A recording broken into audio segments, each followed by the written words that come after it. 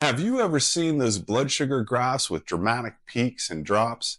They form a CGM, a continuous glucose monitor. It's a small sensor, sensor that tracks your glucose in real time, showing you how your body responds to meals, responds to stress, and sleep. Now, here's what to look for. A mountain or a spike means your glucose shot up fast. It peaked hard and it crashed quickly, often leading to cravings, fatigue, and brain fog. That's not what we want. A mesa shape means that there was a gentle rise, a stable plateau for a while, and then a smooth return to baseline. That's a sign your body handled the meal well, likely because of fiber, protein, or timing. Even if your numbers aren't normal, the shape tells the real story. And here's the kicker big crashes can be just as harmful as big spikes. So if you want to get accurate with your glucose, use your CGM like a coach, not a critic, and change one habit at a time.